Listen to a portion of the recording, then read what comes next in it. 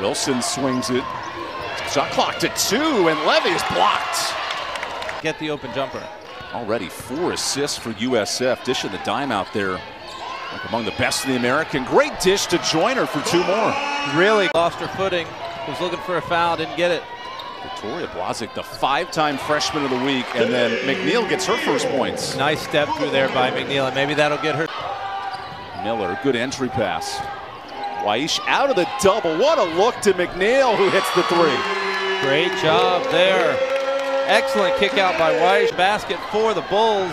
Just when ECU's really starting to move and groove. McNeal's turn hits the three. Offensive juggernauts back in 30 seconds. McNeal with eight. Good move for space. And then McNeal gets cooking. She's got 12. Her pull-up jumper. We saw it in the opening. How good the travel. Instead, three points for the Bulls. McNeal, a quick one, response. That's one of those shots they could. McNeal has 17 to lead the Pirates. Big time hedge there by South Florida, trying to keep McNeal from turning the corner.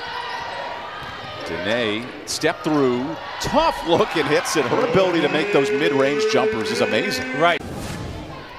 Here we'll take a look. There's the step through. See, she got Wilson up in the air and is able to step around, create some space, and finish with one hand.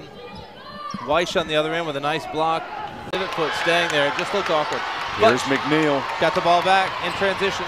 Danae spins it. Difficult angle that bounces in.